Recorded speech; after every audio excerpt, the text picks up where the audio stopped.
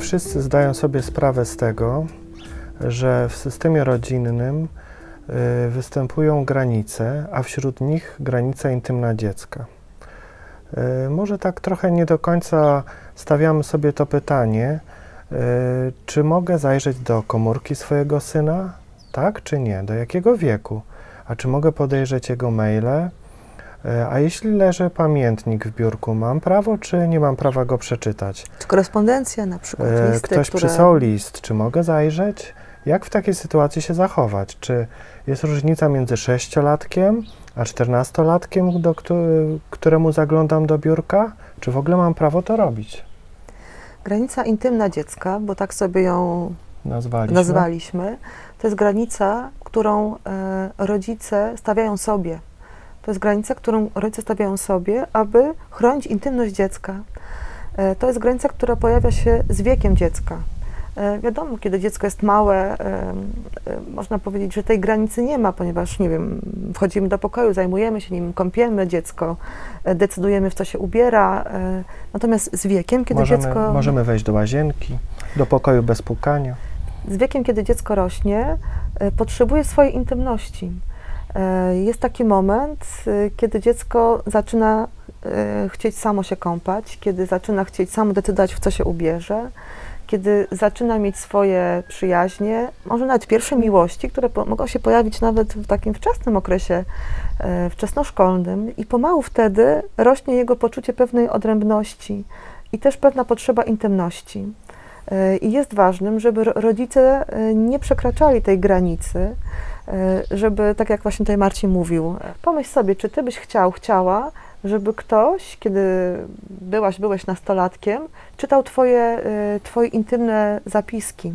Pamiętamy takie rozmowy z ludźmi w gabinecie, którzy byli bardzo zranieni przez to, że okazało się, że któryś z rodziców zaglądał w ich intymny świat bez ich wiedzy. Czytał listy, y, zaglądał do, do komórki. Do maili. I teraz można sobie postawić pytanie, w takim razie, czy mam prawo i w ogóle kiedy mogę to zrobić. Jeśli chcesz to zrobić, to po co chcesz to zrobić? Czy jest to tylko ciekawość, czy masz jakiś niepokój o Twoje dziecko? I tutaj właśnie leży ta granica, yy, którą sobie stawiasz. Jeśli robisz to tylko z ciekawości, tylko dlatego, że chcesz zobaczyć, co tam się dzieje, to nie jest wystarczające uzasadnienie, by zaglądać. Jeśli widzisz, że Twoje dziecko jest w jakimś niebezpieczeństwie być może, że jego zachowanie się podejrzanie zmienia, y, że może jest w jakiejś grupie rówieśniczej, która jest y, niepokojąca, to wtedy mamy do czynienia z inną sytuacją, ale wtedy jest to nazywane interwencją. Po prostu robimy coś, bo interweniujemy, broniąc dobra swojego dziecka. Jeśli przekroczysz granice dziecka i ono to odczuje, będzie owocowało izolacją.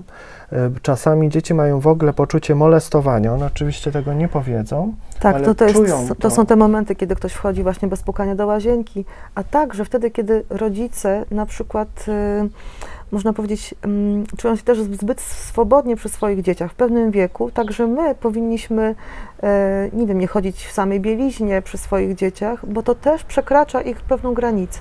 A więc zastanów się, czy przekraczasz, e, czy wkraczasz w taki obszar Twojego dziecka, które e, jest już obszarem intymnym. Jeśli byś chciał, chciała to zrobić, zastanów się, dlaczego i czemu to będzie służyło są takie momenty, y, które mogą budzić nasz niepokój. W zasadzie do pewnego wieku także rodzice mają obowiązek y, patrzeć, co dzieci mają w komórce, na jakie strony wchodzą, y, w jakie gry grają. Oczywiście to jest jak, jak najbardziej wymaga naszej kontroli. Natomiast tutaj mówimy o pewnym takim momencie dojrzewania, pewnej intymności. Natomiast jeżeli nas coś niepokoi, nie wiem, dziecko za, zaczyna się dziwnie zachowywać, może przychodzi piany, może właśnie są jakieś takie sytuacje dwuznaczne, nie wraca o, o, o oznaczonych porach, wtedy mamy do czynienia z interwencją i wtedy należy właśnie zaglądnąć do komórki, zaglądnąć do maila, zaglądnąć być może nawet do pamiętnika, po to, żeby ratować swoje dziecko. Kiedy dzieje się coś nie tak, nie tylko, że mamy prawo, ale mamy obowiązek przekroczyć tą granicę intymną dziecka, po to, aby ratować swoje dziecko z miłości. Nie możemy być wtedy obojętni. E, często wtedy informujemy naszego y, Często syna, nastolatka. y, syna czy córkę, słuchaj, od dziś daję sobie prawo do zaglądania do tych różnych miejsc, chcę mieć dostęp pełen do Twoich kieszeni, chcę zaglądać do Twojego pokoju y, i tak dalej, i tak dalej, ale y, to jest sytuacja interwencji. To nie jest normalna sytuacja, w która y, nie, nie zawsze, no, nie powinna się w sumie zdarzać w rodzinie. Natomiast y, zwyczajnie, jeśli chcesz zajrzeć, zastanów się, dlaczego to robisz i co z tego wyniknie. Y, co zrobisz z wiedzą, którą zyskasz, jeśli zajrzysz y, do SMS-ów. Jeśli tylko ciekawość, to na pewno przekraczasz granicę intymną dziecka.